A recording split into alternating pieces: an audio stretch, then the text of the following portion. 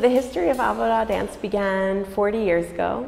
Our mission is really great. It's based on a Jewish value, and that is in Hebrew called tikkun olam, and that means to repair the world.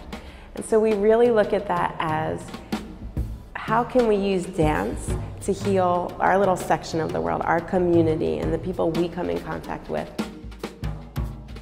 We also look at how Avodah can bring dance to underserved communities, people that are not usually exposed to dance. And we also want to see how Avodah can build a community. So is there a way that we can use dance to help us all feel more connected? We do a lot of work with women in prison, and that has been going on since 2002. Bringing them a, a group of people, of artists, and creating a space where they can be dancers for a week and just forget about where they are and become free and connect with their bodies. Because inside, like, you're obviously you're not allowed to touch people, you're not really allowed to move a lot, you're very confined. Um, and then on top of it, you're wearing like baggy clothes, you don't feel like a woman. So bringing them the experience of dance, it really helps them see themselves in a new light. And we just focus on dance together. We're a dance company for the week and we're all engaged full on. You got to see people dance and move that I never would have expected to ever. It was like a breath of fresh air.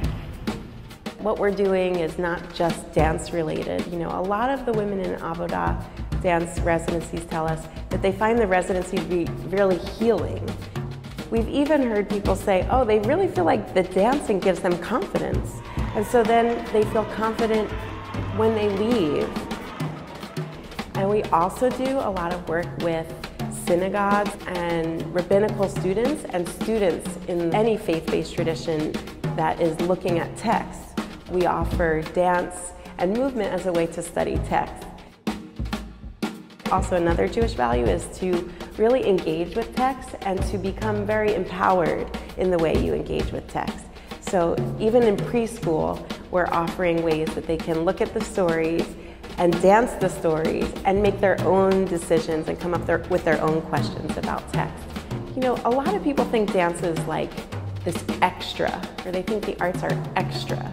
But I really think if you if you look at all babies and toddlers and children, they're just natural dancers, natural musicians, natural singers, and the joy that it brings to them. And then if you go beyond that and see the joy that it brings to all people, you realize it's not really extra because a world without dance, a world without art, would be a world that people wouldn't want to live in. The fact that everyone has the access, can have the access to this, these art forms is a very important message, especially for our time, I think, when, when it is becoming more difficult to squeeze out that time and squeeze out that joy, it's a very important time to dance.